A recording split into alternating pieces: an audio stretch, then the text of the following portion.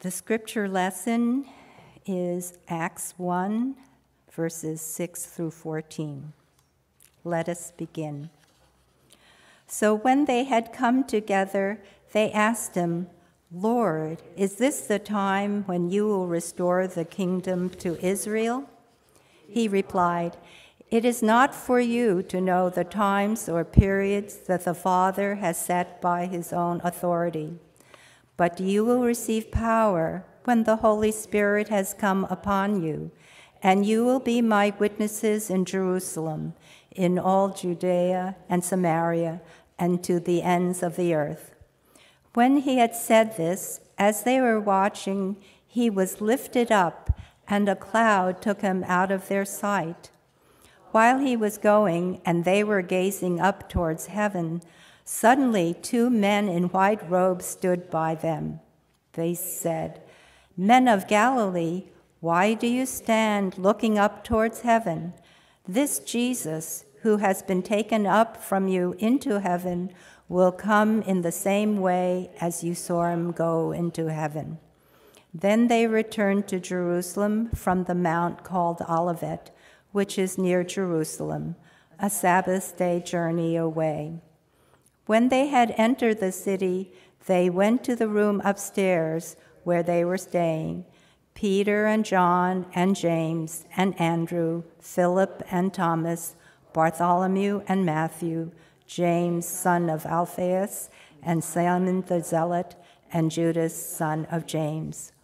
All these were constantly devoting themselves to prayer, together with certain women, including Mary, the mother of Jesus as well as his brothers. Who's here? Hey, good morning. Hey, Jeremiah. By the way, I'm really, really good at that game. Pac- he's got a Pac Man shirt. That's mine. And Tetris. But thank you. That's wonderful. Hi, Teresa and Jack and Scarlet and Violet and Etha and what's your name again? Owen. Yeah, I knew that. How are you?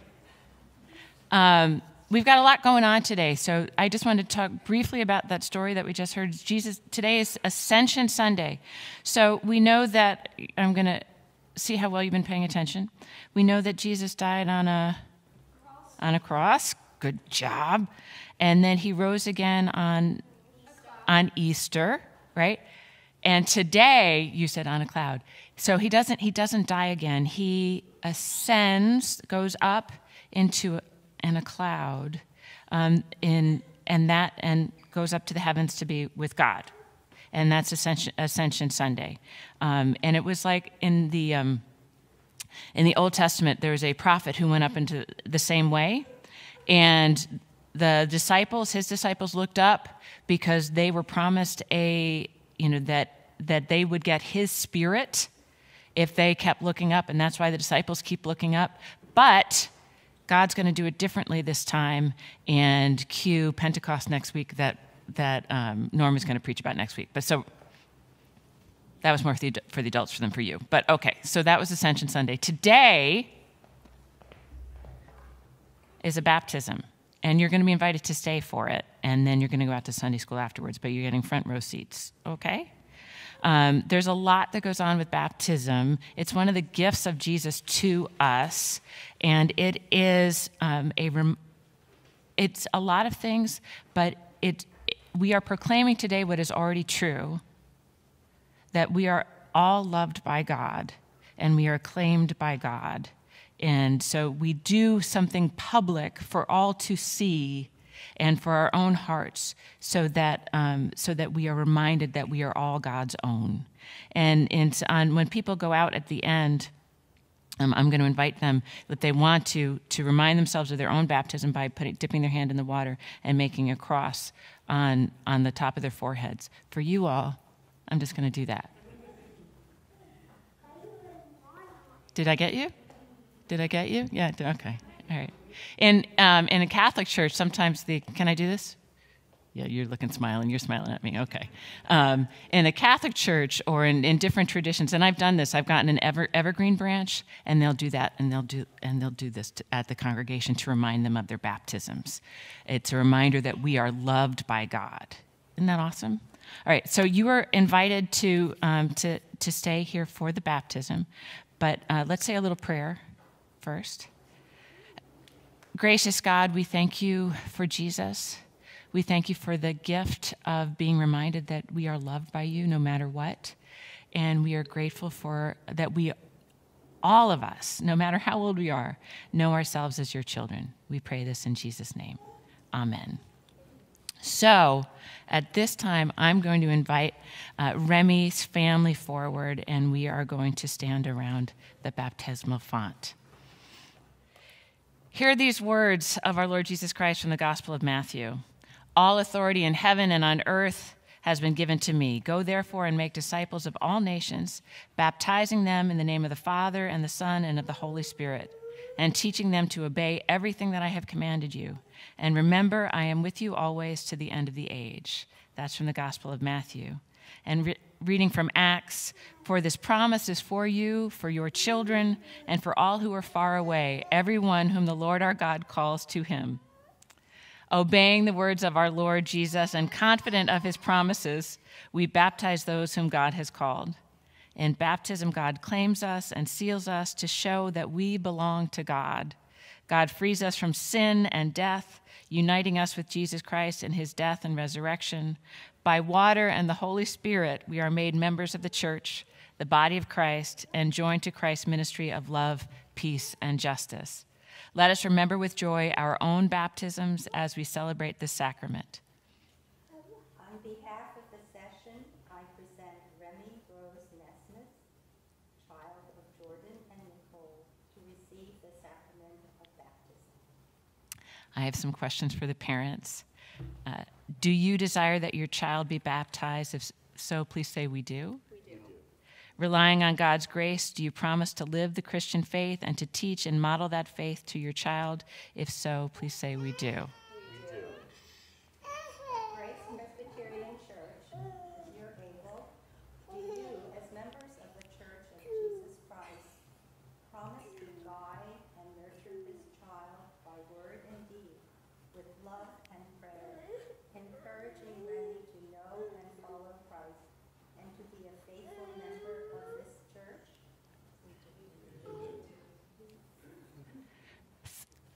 Through baptism, we enter the covenant God has established. Within this covenant, God gives us new life, guards us from evil, and nurtures us in love. In embracing that covenant, we choose whom we will serve by turning from evil and turning to Jesus Christ.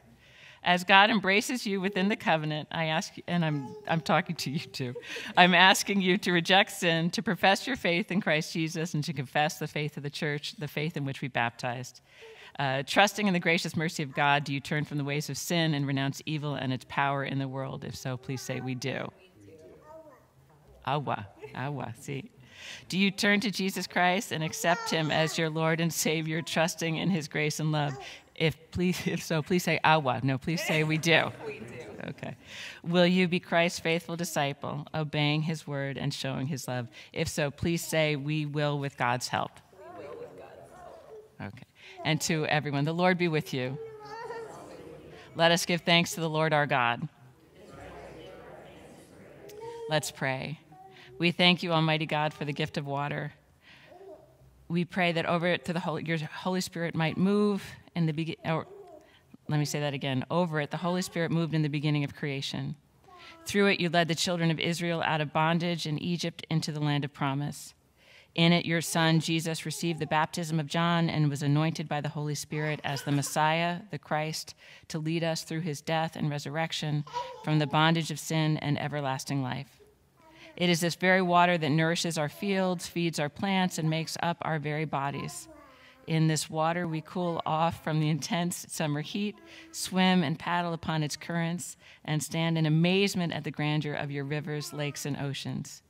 We thank you, Creator, for the water of baptism. In it, we are buried with Christ in his death. By it, we, sh- by it, we share in his resurrection. Through it, we are reborn by the Holy Spirit. Pour your spirit out upon this water that those who are here are cleansed from sin, born again, and may continue forever in the risen life of Jesus Christ our Lord. To him, to you, and to the Holy Spirit be all honor and glory now and forever. Amen. Okay, Remy. Ahorita, el agua. Can you, hey, will you let me hold you? Water? Agua? Agua? See? Remy Rose, I baptize you in the name of the Father, and of the Son, and in the Holy Spirit. Amén. Amén. En el Espíritu Santo. El Espíritu Santo. Tu abuela habla español, ¿no? Ay, qué bueno. Okay, let's pray for Remy. Lord, uphold Remy by your Holy Spirit. Watch over her throughout her life. Lead her in your paths of righteousness and fill her with your grace and love.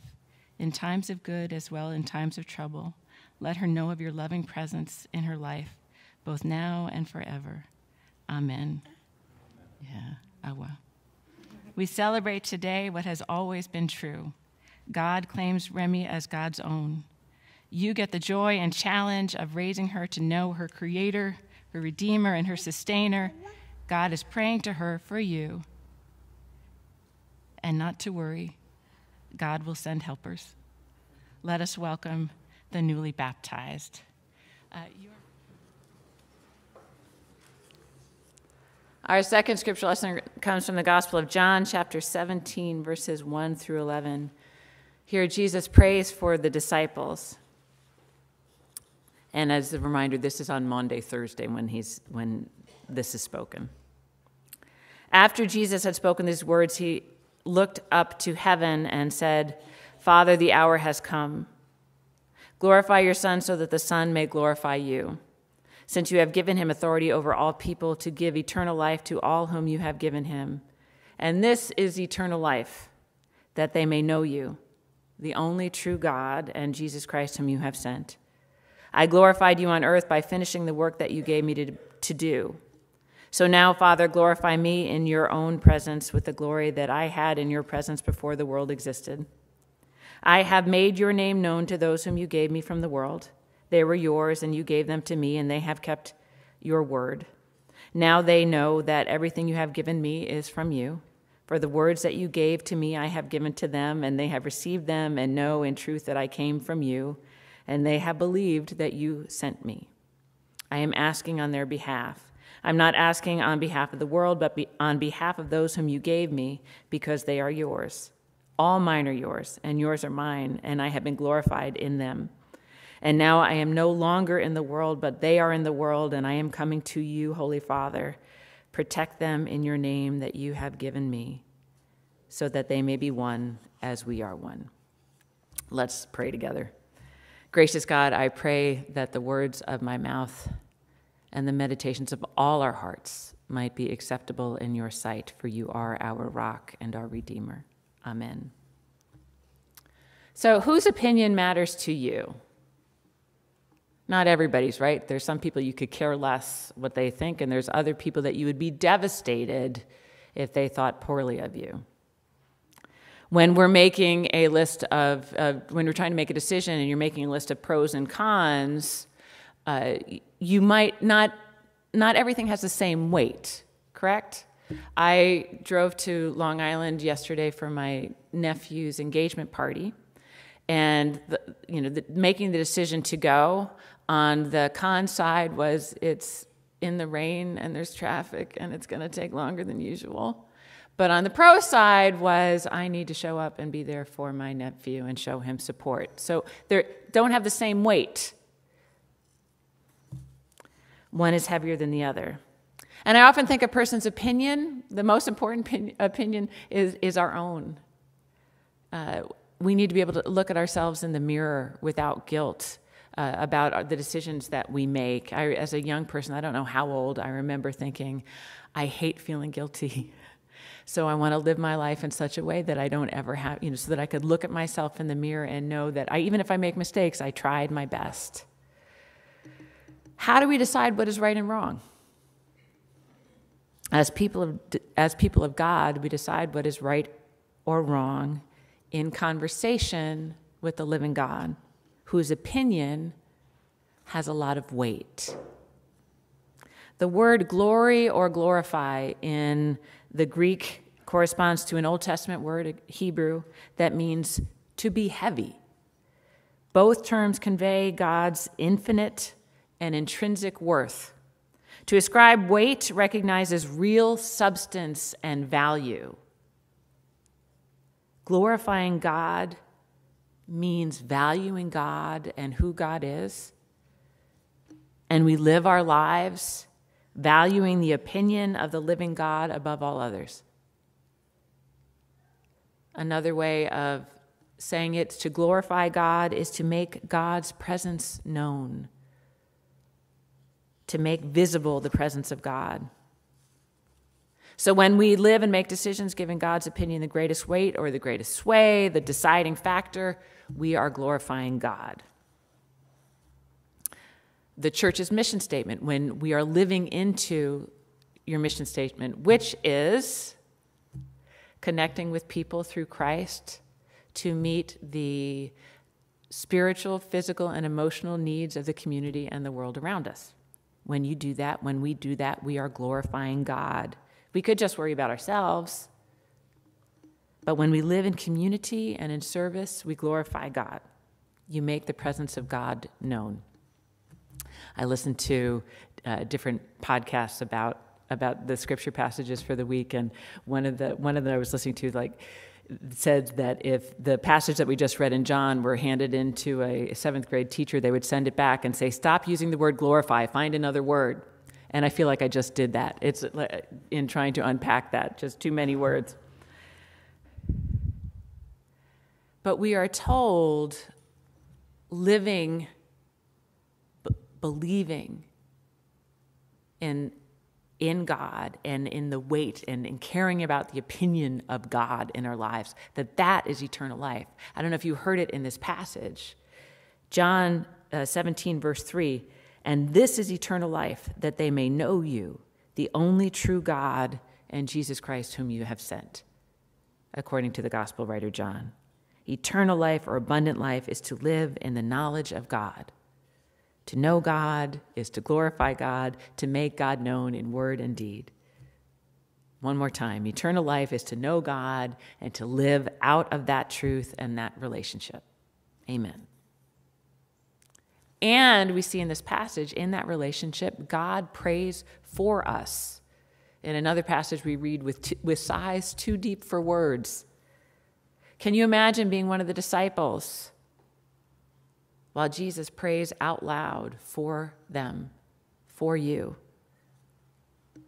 What we're reading is part of the farewell discourse in the Gospel of John, Jesus uh, does not go out into the Garden of Gethsemane and pray by himself, and the disciples falls asleep. In the Gospel of John, he's in this room with the disciples, and they hear him pray.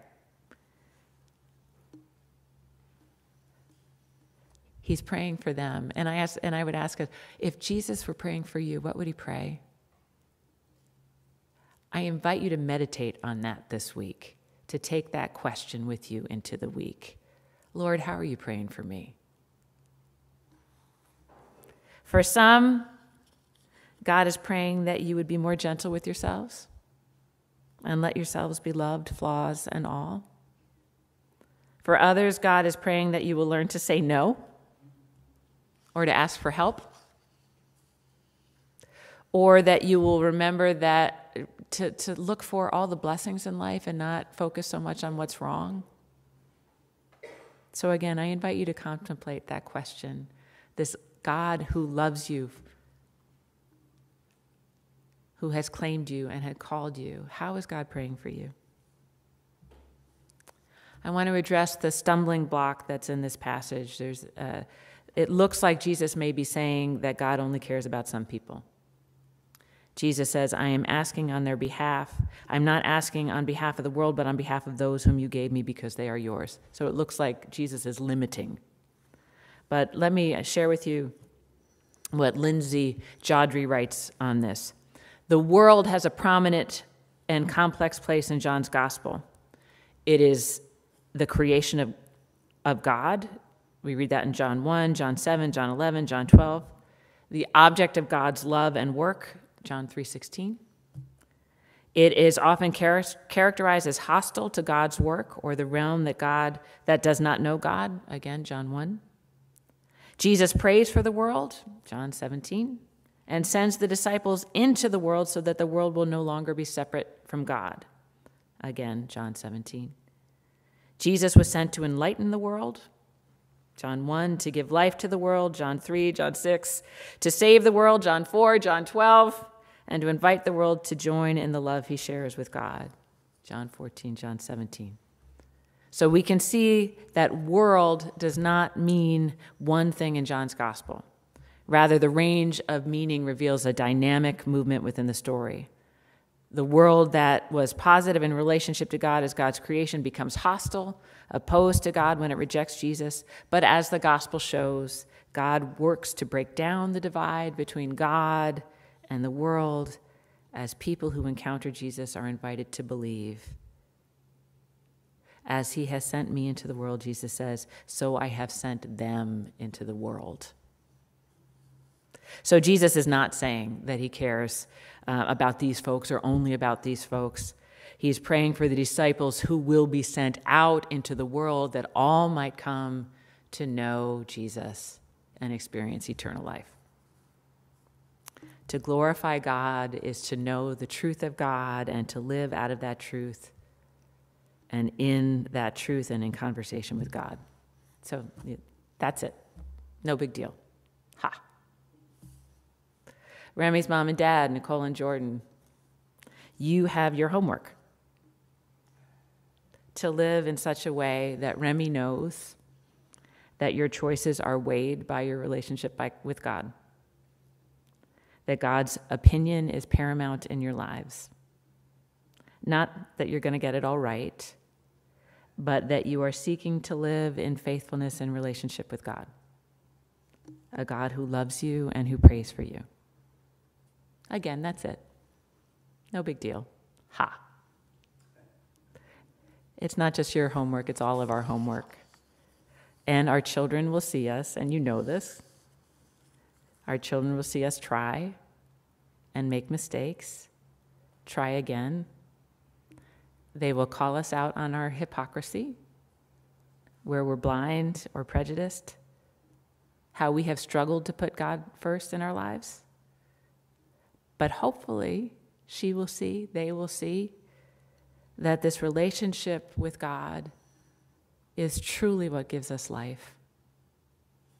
In this relationship, we know hope, joy, peace, and love.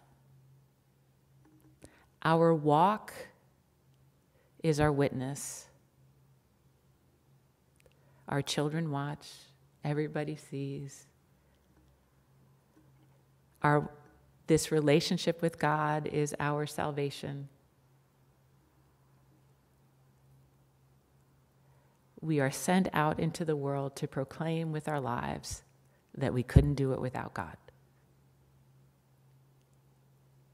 That's it. In Jesus' name, amen.